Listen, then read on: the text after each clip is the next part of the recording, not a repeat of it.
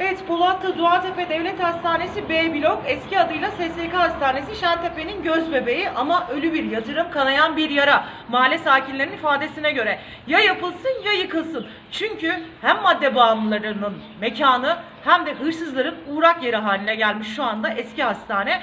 İçeriye girmekte üst katlara çıkmakta biz bile tedirgin olduk. İçerisi zifiri karanlık cam kırıkları her yer yıkık.